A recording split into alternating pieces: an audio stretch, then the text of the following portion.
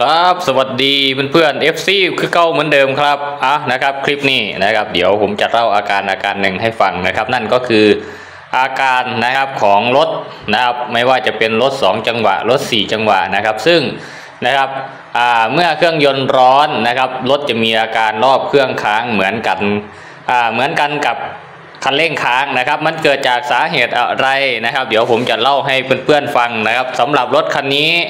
นะครับ ผมก็จะให้เพื่อนๆไปดูไปฟังอาการก่อนนะครับว่าอาการรอบเครื่องค้างมันเป็นอย่างไรนะครับเพื่อนๆแล้วเราค่อยมาว่ากันนะครับ ในส่วนของรถคันนี้นะครับ ซึ่งจะมีวิธีการแก้ไขปัญหาอย่างไรสำหรับอาการ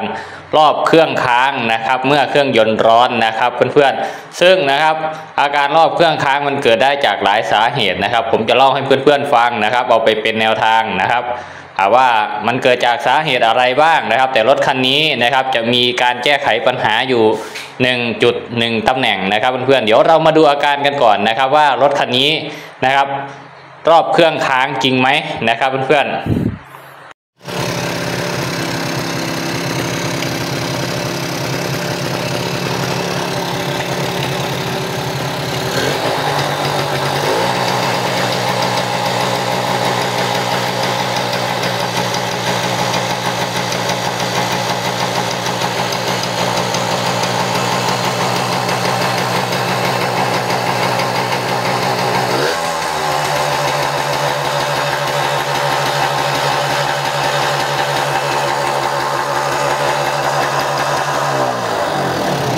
เพื่อนๆอาการก็เป็นอย่างที่เพื่อนๆได้เห็นได้ยินได้ฟังเมื่อตะกี้นี้นะครับก็คือเวลาเราเร่งเครื่องแล้วรถมันจะเร่งเองนะครับ แล้วก็เวลาเราเร่งเครื่องแล้วยกคันเร่งแล้วสายคันเร่งไม่ค้างแต่ว่ารอบเครื่องมันค้างนะครับเพื่อนพอเรามาทำการเปิดโชคปั๊บนะครับ รอบเครื่องก็จะตกลงไปเป็นปกตินะครับ นั่นก็คืออาการที่นะครับผมจะแนะนำแล้วก็จะพาเพื่อนๆไปทำการแก้ไขนะครับคลิปนี้เป็นคลิปที่หนึ่งนะครับเพื่อนครับเพื่อนๆทีนี้นะครับหลังจากที่เพื่อนๆได้ดูคลิปไปแล้วนะครับเพื่อนๆเมื่อเครื่องยนต์ร้อนนะครับ เมื่อเครื่องยนต์ร้อนรถจะมีอาการรอบเครื่องค้างนะครับ พออ่ารอบเครื่องค้างสักพักหนึ่งนะครับ เครื่องยนต์จะเร่งขึ้นเองเร่งขึ้นเองเร่งขึ้นไปเรื่อยๆนะครับแล้วก็จะเกิดอาการ โอเวอร์รันหรือว่าเร่งเองจนมิดคันเร่งเลยนะครับเพื่อนๆนะครับ ซึ่งนะครับอาการที่ได้กล่าวมานั้นนะครับ อาการที่เพื่อนๆเห็นนั้นนะครับอ่าถ้าเป็นรถ 2 จังหวะนะครับ ส่วนมากจะเป็นอ่าจะเกิดจากรถ 2 จังหวะนะครับเพื่อนๆนะครับ จุดแรกนะครับของรถ 2 จังหวะนะครับ จุดแรกของรถ 2 จังหวะที่นะครับทำให้เกิดอาการโอเวอร์รันนะครับทำให้เกิดอาการโอเวอร์รันนะครับ ก็คือ อ่ามีรอยรั่วนะครับ ไม่ว่าจะเป็นรถ2จังหวะรถ4จังหวะรถหัวฉีดนะครับ ย้ำนะครับรวมถึงรถหัวฉีดด้วยนะครับอ่า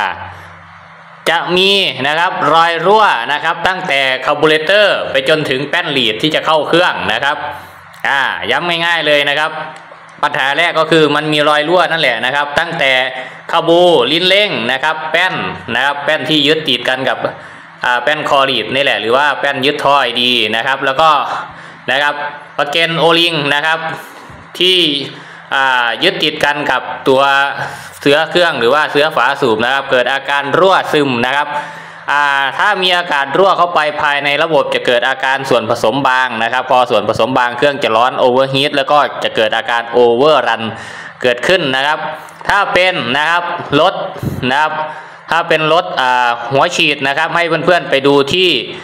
ลิ้นเร่งด้วยนะครับ ว่าลิ้นเร่งของเราสึกหรอหรือไม่นะครับ ก็คือไอ้ปีกผีเสื้อที่เปิดปิดเปิดปิดนั่นแหละนะครับ ปีกผีเสื้อนะครับ กับเสื้อลิ้นเร่ง มันเกิดช่องว่างมันปิดไม่สนิททำให้อากาศมันรั่วเข้าไปนะครับ มันก็เลยเกิดอาการโอเวอร์รันนะครับเพื่อนๆแต่ว่าถ้าเป็นรถคาร์บูเรเตอร์อย่างของรถคันนี้ก็ให้เพื่อนๆนะครับ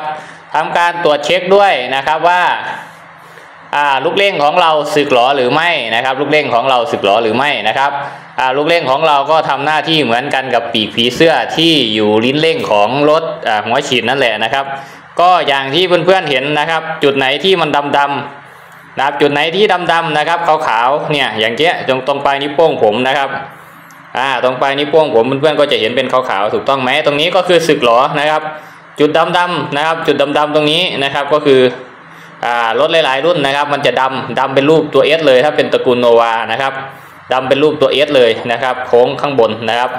ฝั่งหนึ่งสึกล่างฝั่งหนึ่งสึกบนนะครับ แล้วก็จะสึกด้านข้างตรงนี้นะครับสำหรับรถตระกูลโนวานะครับ ถ้าลูกเร่งสึกนะครับ ก็เกิดอาการโอเวอร์รันได้เหมือนกันลูกเร่งกับลิ้นกับลิ้นเร่งนะครับ ลิ้นปีกผีเสื้อทำหน้าที่เหมือนกันนะครับ ถ้าสึกหลอก็มีอาการโอเวอร์รันได้นะครับ ดังนั้นก็ให้เพื่อนๆทำการ ถ้าเป็นรถอ่า ถ้าเป็นรถกระบูก็ลองเปลี่ยนลูกเร่งก่อนนะครับ แต่ว่าบางทีการเปลี่ยนลูกเร่งนะครับ ไม่ได้หมายความว่ามันจะหาย เพราะว่าไอ้เสื้อตรงนี้มันสึกล้อนะครับ พอเสื้อมันสึกล้ออากาศมันก็รอดได้นะครับ ก็เลยทำให้เกิดอาการโอเวอร์รันได้นะครับเพื่อนๆอะนะครับ อันนี้ก็คือประเด็นและก็ปัญหาที่หนึ่งที่จะเกิดขึ้นนะครับ โดยส่วนมากนะครับ อาการแบบนี้นะครับ อาการลูกเร่งปีกผีเสื้อสึก นะครับ ส่วนมากมักจะเกิดกับเนื่องละรถใส่ไส้กรองอากาศของเทียม 2 นะครับรถเปิดไส้กรองอากาศนะครับ เปิดกรองดูดสดนะครับ แล้วก็ 3 นะครับท่อ ID นะครับท่อ ID นะครับจากกรองอากาศมาเข้าคาบูหรือว่ามาเข้าลิ้นเร่งเกิดฉีกขาดเสียหายนะครับทำให้ฝุ่นนะครับ มันไม่ผ่านไส้กรองแหละมันดูดผ่านท่อ ID ที่ขาดมันเข้ามานะครับ มันก็เลยทำให้ลูกเร่ง ลิ้นเร่งนะครับลิ้นปีกผีเสื้อของเราเกิดการสึกหลอนั่นเองนะครับเพื่อนๆอะนะครับวันนี้ก็เป็นประเด็นที่1นนะครับในส่วนประเด็นที่2นะครับสำหรับรถ 2 จังหวะนะครับ ก็จะมีนะครับประเด็นที่ 2 ก็คืออเราจะย้ายกันมาที่ฝั่งซ้ายของตัวรถนั่นก็คือนะครับสิ้นจานไฟนะครับสินจานไฟรั่วนะครับสินจานไฟก็ทำหน้าที่เหมือนกับบาวาวไอดีของเรานั่นแหละนะครับ เพื่อป้องกันกำลังอัดรั่วไหลนะครับถ้าซินนะครับซินจานไฟรั่วนะครับเวลาเครื่องยนต์ทำงานมันก็จะดูดอากาศจากข้างนอกเข้าไปภายในห้องเครื่องนะครับถ้าเป็นรถ 2 จังหวะนะก็จะเกิดอาการส่วนผสมบางนะครับ สตาร์ทติดยากนะครับ แล้วก็มีโอกาสที่นะครับจะเกิดอาการ overrun หรือว่ารอบเครื่องค้างเครื่องเร่งเองได้นะครับเพื่อนๆดังนั้น วันนี้ผมก็จะพา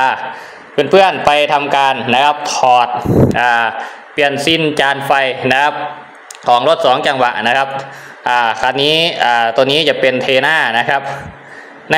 การเปลี่ยนซีลจานไฟของรถ 2 จังหวะนั้นนะครับอาจะมีตระกูล KR Victor Serpico นะครับที่จะต้องทำการผ่าเครื่อง นะครับ ถึงจะเปลี่ยนซินจานไฟได้เด้อนะครับ นอกนั้นนะครับ นอกนั้นเปิดห้องจานไฟออกมาดูดจานไฟออกมานะครับ เราก็สามารถทำการงัดแล้วก็เปลี่ยนซินจานไฟได้เลยนะครับเพื่อนๆนะครับ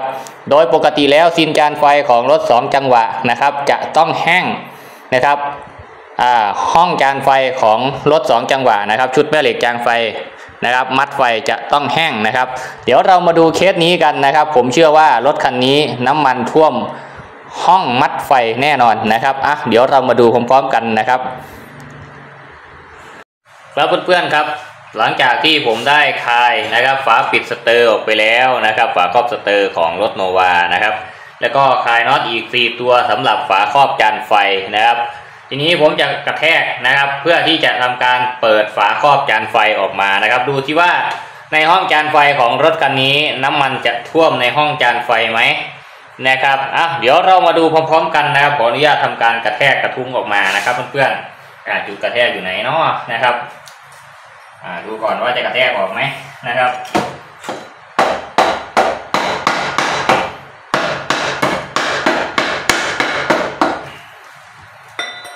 แทกไปแล้วนะครับ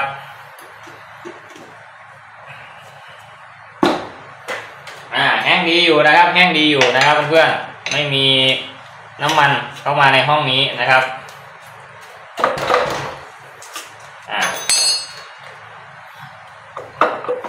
ติดตรงนี้นะครับ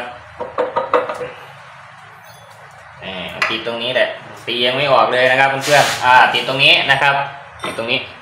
นะครับ อ่า เดี๋ยวขออนุญาตอ่านะครับอืมขออนุญาตทำการตีกระทุ้งออกครับ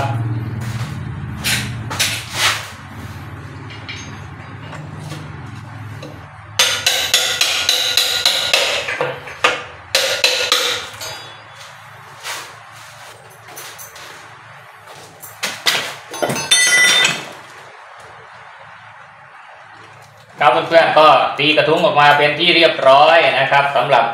ห้องจานไฟนะครับนี่นะครับปกติแล้วนะครับ ห้องจานไฟนะครับจะต้องแห้งนะครับ ห้องจานไฟจะต้องแห้งนะครับอ่านี่ก็คือห้องจานไฟของรถเทน่าโนวาเทน่านะครับตัวนี้จะเป็นของรุ่น 5 เกียร์นะครับเพื่อนๆ4เกียร์กับ 5 เกียร์นะครับ ต่างกันอยู่ตรงนะครับนี่นะครับตัวเวทนะครับตัวเวทที่เชื่อมติดกันกับอ่า ตัวเวทที่เชื่อมติดกันกับแม่เหล็กจานไฟนะครับ ของ4เกียร์จะไม่มีเวทนะครับ จะไม่มีเวทจะไม่มีสันนูนเพิ่มขึ้นมานะครับ5เกียร์จะมีเวทนะครับเพื่อนๆนะครับทีนี้ก็จะเป็นขั้นตอนของการถอดน็อตนะครับ จานไฟแล้วก็จะทำการนะครับ